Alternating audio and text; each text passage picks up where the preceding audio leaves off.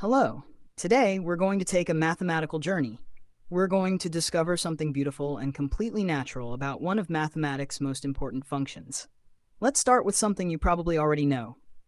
The factorial. For any positive integer n, the factorial n is simply the product of all positive integers from 1 up to n.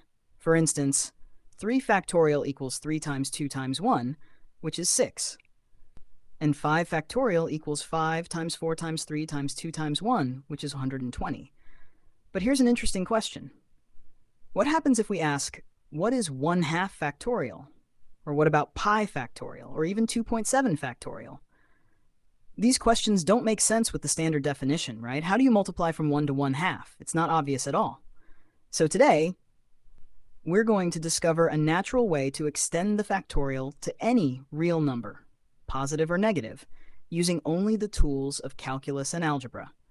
And the most beautiful part? This extension is so natural, so obvious once you see it, that mathematicians have been using it for over 300 years. We're going to begin with something simple, the natural logarithm. Let's see where it takes us. Let's explore the derivatives of the natural logarithm. This might seem random at first, but I promise you it's going somewhere amazing. We start with the function g of x equals natural log of x. Now let's take the first derivative. The derivative of natural log x is 1 over x. Simple enough. Now let's take the second derivative. The second derivative is negative 1 over x squared. The third derivative is 2 over x cubed. And the fourth derivative is negative 6 over x to the fourth power. Now, here's where it gets interesting. Let me show you something about these equations. Look at the numerators and the denominators. Look at those numbers in front. 1, then 1, then 2, then 6. Wait a minute, that's 0 factorial, 1 factorial, 2 factorial, 3 factorial. This can't be a coincidence. In fact, there's a general pattern here. Let me show you the formula. For the nth derivative of natural log x, we get negative 1 to the power of n minus 1 times the quantity n minus 1 factorial, all times x to the negative n. This formula perfectly captures what we observed. Let me verify this works for n equals 3. Negative 1 squared is 1 times 2 factorial, which is 2, times x to the negative 3, gives us 2 over x cubed. Perfect. This matches our third derivative exactly. So we've discovered this beautiful pattern hidden inside the derivatives of the natural logarithm. Now let's take what we learned and build something more general. Let me define a new function. Let's call f sub n of x the quantity negative natural log x raised to the power n. This looks similar to what we were studying before. Let's compute its derivative using the chain rule. The derivative of f sub n is n times the quantity negative ln x to the power n minus 1 multiplied by the derivative of the inside, which is negative 1 over x. This simplifies to negative n over x times negative ln x to the power n minus 1 which we can write as negative n over x times f sub n minus 1 of x. So we have this beautiful relationship, the derivative of f sub n of x plus n over x times f sub n minus 1 of x equals 0. This relationship is going to be absolutely key to everything that follows. Now here's where we get clever. We need to find a function whose derivative gives us exactly what we want. We want to find a function h such that its derivative equals f sub n of x minus n times f sub n minus 1 of x.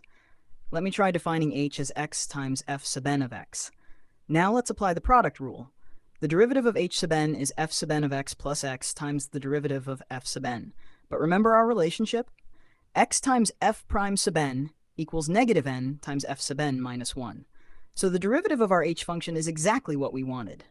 This is precisely the form we need. Isn't that beautiful? Now let's take our derivative equation and integrate both sides from 0 to 1 we're going to integrate both sides from 0 to 1. By the fundamental theorem of calculus, the left side becomes h, evaluated at 1 minus h, evaluated at 0.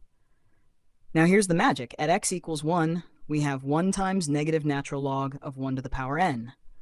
But natural log of 1 is 0, so we get 1 times 0 to the power n, which is 0.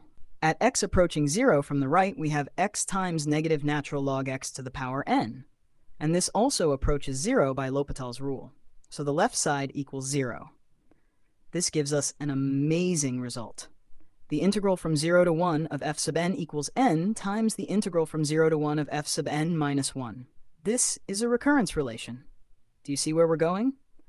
Let me define something new using everything we've discovered. Let lambda of n equal the integral from 0 to 1 of negative natural log x raised to the power n dx. In other words, lambda of n is just the integral of our function f sub n. And from our work, we know that lambda satisfies this recurrence relation. Lambda of n equals n times lambda of n minus 1. Now here's the key. What's our base case? Lambda of 0 equals the integral from 0 to 1 of negative natural log x to the power 0, which is just 1 dx.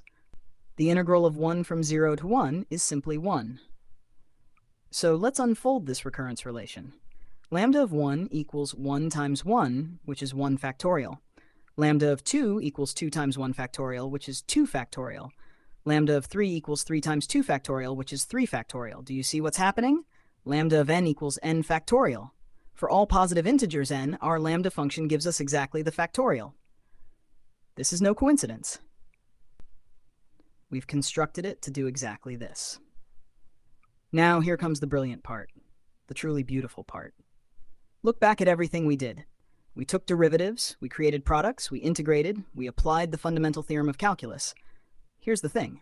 Nowhere in our entire derivation did we require n to be an integer. We never divided by n. We never assumed n was a whole number.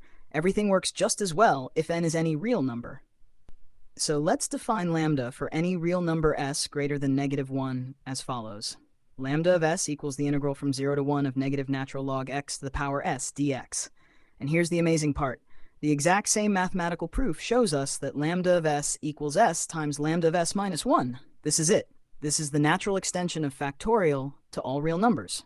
We can now write lambda of s equals s factorial for any real number s greater than negative 1.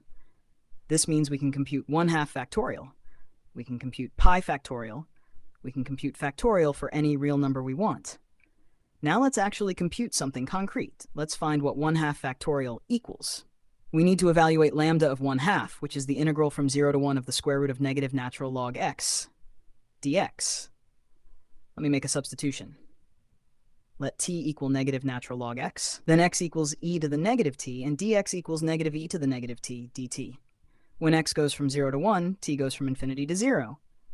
After the substitution, our integral becomes the integral from 0 to infinity of t to the 1 half power times e to the negative t dt. Now let me make another substitution. Let u equal the square root of t. Then t equals u squared, and dt equals 2u du. This gives us the integral from 0 to infinity of 2u squared times e to the negative u squared du. Now, integrals of this form involving e to the negative u squared are called Gaussian integrals, and they have well-known solutions. When we evaluate this integral using Gaussian integral techniques, we get lambda of 1 half equals square root of pi divided by 2. Therefore, 1 half factorial equals square root of pi divided by 2. Let me summarize what we've discovered today. First, we extended the factorial function from just integers to all real numbers. This is profound. Second, we did this using only basic calculus and logarithms, no complex analysis, no advanced functions, just pure mathematics flowing naturally from simple principles. Third, our lambda function satisfies a beautiful recurrence relation. Lambda of s equals s times lambda of s minus 1. This is the defining property of factorial.